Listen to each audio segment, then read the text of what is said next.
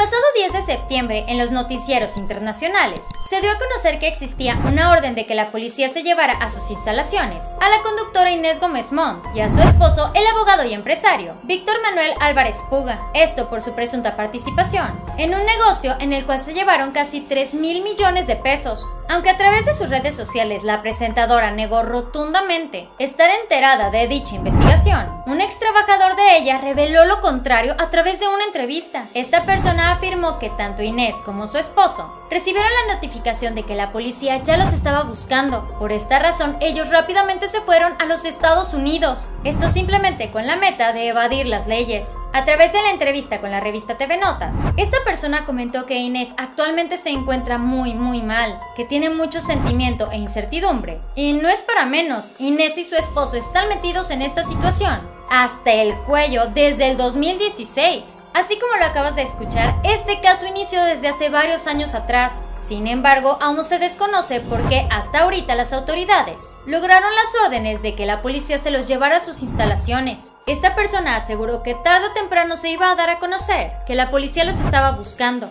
ya que cuando ellos se casaron en 2015, de un momento a otro, la fortuna de Inés comenzó a crecer de manera descomunal. Al parecer, ella misma empezó a presumir para todos lados sus ostentosos viajes, sus pertenencias y todo lo que se gastaba alrededor del mundo. Para el 2016, las autoridades investigaron a Inés Gómez Montt por no presentar como debía su declaración. Ella declaró una menor cantidad de dinero de la que había ingresado a sus cuentas. Por esta razón, las autoridades dijeron, aquí hay algo raro. En aquel entonces se pudieron obtener algunos amparos y se pagó una buena cantidad al SAT, pero bien sabemos que en este país no se juega con Hacienda. Desde ese momento a Inés ya la tenían en la mira. Mientras más se investiga acerca de esta situación, más trapitos salen al sol. El mismo día que se supo que la policía tenía una orden en contra de Inés, ella salió a decir en redes sociales que desconocía a esta.